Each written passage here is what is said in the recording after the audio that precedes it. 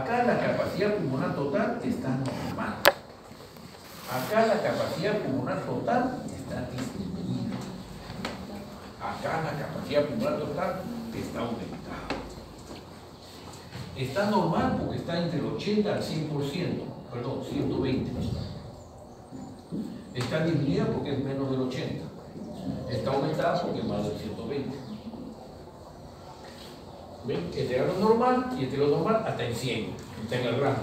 Este es lo normal y está, ya está debajo de 80.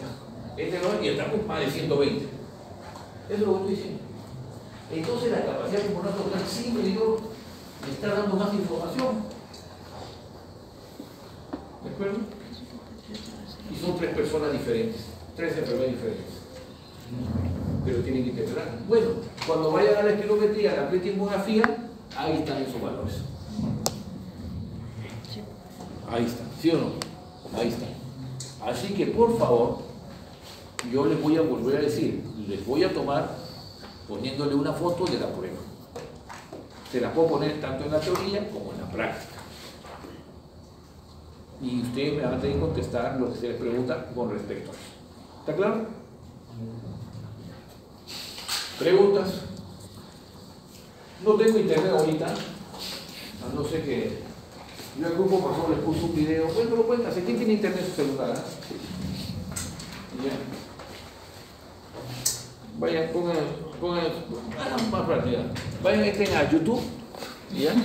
Y pongan pletismografía video, ¿ya? Y, y busquen un video y ahí está la pletismografía, hay un montón de pletismografía.